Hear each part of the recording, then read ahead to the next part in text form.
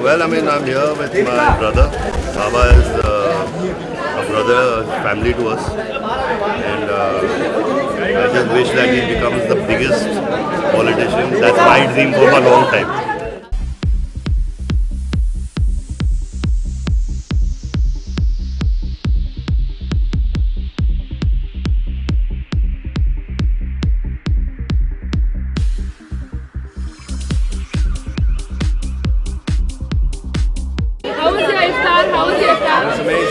How was your iftar? It's amazing. Yeah. What, what did you eat take a uh, roza? Kajur.